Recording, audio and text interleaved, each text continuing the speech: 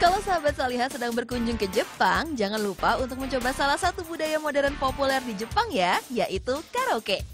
Tempat karaoke di Jepang kebanyakan merupakan waralaba. Tapi meskipun berbentuk waralaba, biasanya pelayanan yang diberikan kepada pelanggan bisa berbeda di setiap cabangnya. Seperti perusahaan Koshidaka Holdings yang memiliki 367 toko karaoke yang tersebar di seluruh Jepang.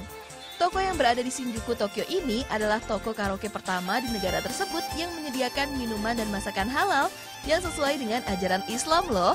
Jadi wisatawan dari Indonesia dan berbagai negara muslim lainnya diharapkan bisa berkunjung ke toko itu. Toko karaoke bernama Karaoke Honpo Maneki Neko ini terletak di dekat stasiun subway Marunouchi Line Yotsuya Chome. Makanan dan minuman halal yang disediakan di toko tersebut diberikan otentikasi halal dari Malaysia Halal Corp yang berlaku sejak 24 Desember 2017.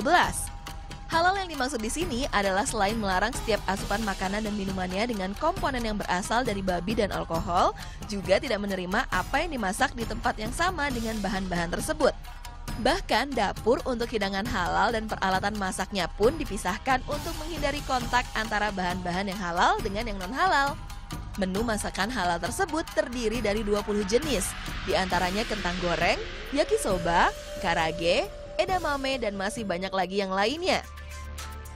Selain makanan dan minumannya yang halal, toko ini juga menyediakan fasilitas ruang ibadah dengan luas sekitar 7 meter persegi dan dapat digunakan untuk beribadah dengan maksimal sekitar 4 orang.